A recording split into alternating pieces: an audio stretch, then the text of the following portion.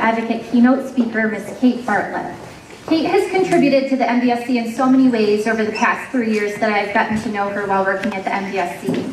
Kate has a very impressive speaker bio that I'll share with you all in a minute, but I first wanted to highlight a few of her key contributions to our organization, and how thankful we are to have her leadership, support, and dedication.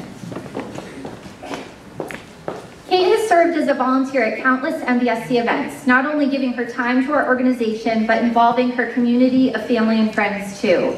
This includes our Advocates in Motion program, our Buddy Walk and Family Festival, and our annual conference every March. Thanks to Kate and her network, we are never short of amazing volunteers. In the summer of 2011, Kate served as the MDSC's first self-advocate intern. We are thankful for Kate's contributions to the work of our team and for teaching us how to better include self-advocates in the behind-the-scenes work we do in the office.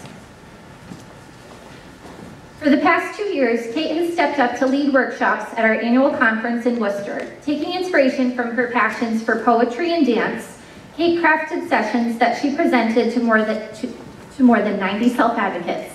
Her skill as a presenter got attendees thinking and moving, and she got more than one participant excited about the possibility of presenting a session of their own someday.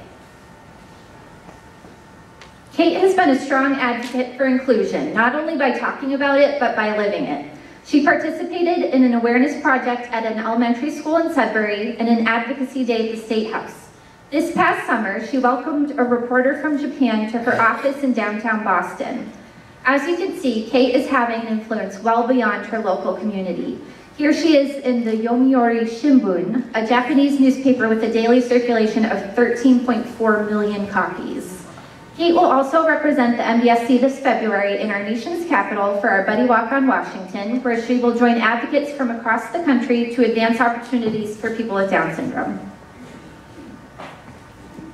Kate has been a member of the MDSC's Self-Advocate Advisory Council since its inception in December of 2011.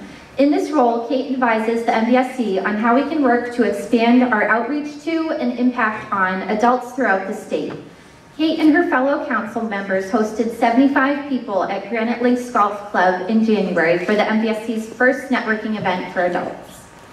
As you can tell, Kate is an integral member of the MDSC community, but this is really no surprise.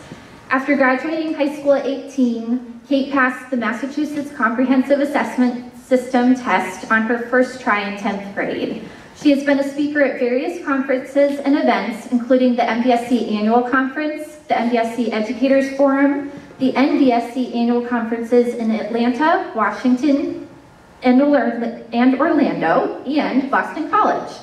Kate testified at a U.S. Senate hearing in Washington, D.C. in 2006. Kate is also the recipient of the NDSS's Voices Award. Kate benefited from IDEA in Massachusetts Chapter 766.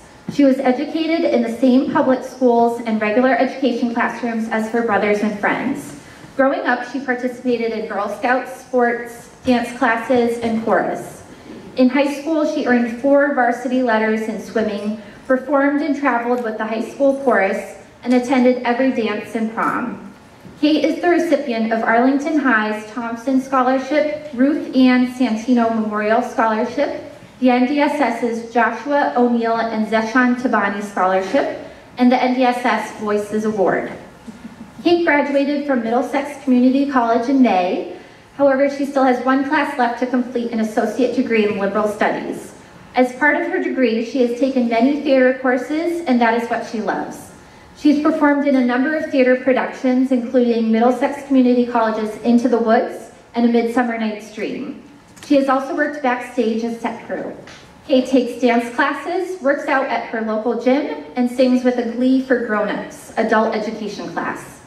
Kate works part-time in the Human Resources Department of Aquin LLC in Boston, Mass. At present, Kate goals are to complete her final class, work full-time, continue acting and singing, and at some point live independently. So please help me welcome Miss Kate Bartlett.